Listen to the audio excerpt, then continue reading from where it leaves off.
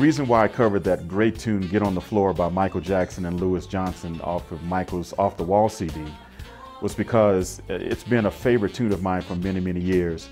Uh, Louis Johnson is one of my favorite bassists and he's uh, one of my very first mentors that I listened to when I was first starting to play the bass. And I've always wanted to cover this tune and this has been my opportunity.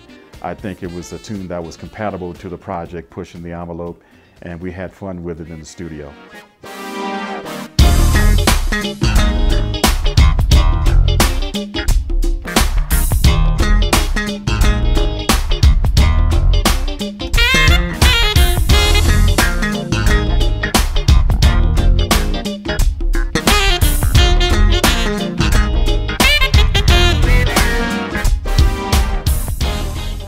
very first tune on the project called What Would James Do is a dedication to the late great godfather of soul, James Brown.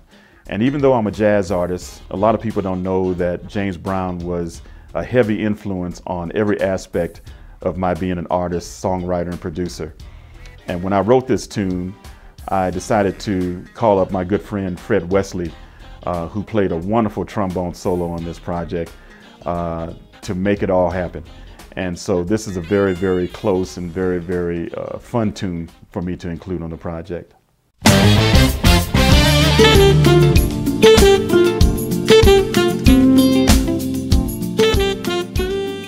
Earl Klugh and I are longtime friends. I had the pleasure just only a few months ago to do a wonderful jazz cruise with him and really got a chance to catch up on life, on music, and uh, we spent time with our wonderful wives, uh, Glennis and Denise, and uh, we just had a good time. So I had just mentioned to him in passing that I was doing uh, my new project and I had a song that literally had his name on it.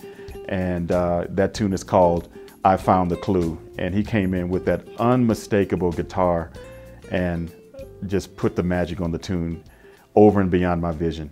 I love that tune.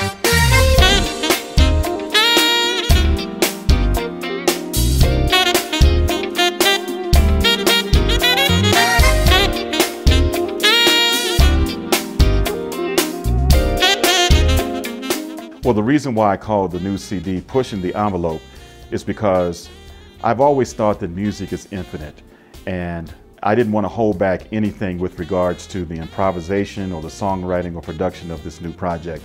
I'm real excited about it and this is what Pushing the Envelope reflects.